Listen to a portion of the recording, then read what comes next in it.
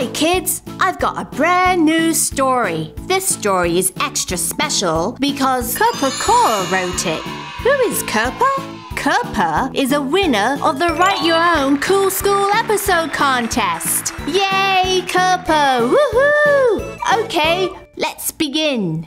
Once upon a time, there was a gorilla with wings. One night, he flew out of the crazy zoo. The next morning, he flew to the ice cream truck and bought a gigantic chocolate ice cream. After eating the ice cream, he went to the park. In the park, he saw a pink gorilla. The flying gorilla went to the pink gorilla and said, Hi, do you giggle? Yes, of course. Knock knock. Who's there? Gorilla. Gorilla who? Gorilla me a hamburger.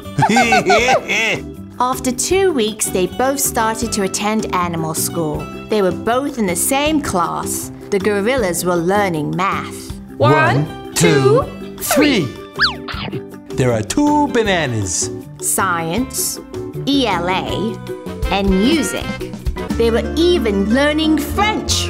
Bonjour, je suis un gorille qui vous. Bonjour, je suis un gorille rose. Nous sommes gorilles et nous parlons français. After two months, the gorillas graduated.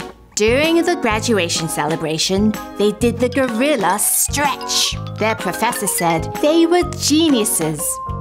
Three months after, they fell in love, then they got married. The husband tried to search and guess where his wife was. After the marriage, their genes were filled with love. The end. That was great! Check out the other winner of the Write Your Own Cool School episode contest right here. And don't forget to subscribe. Bye!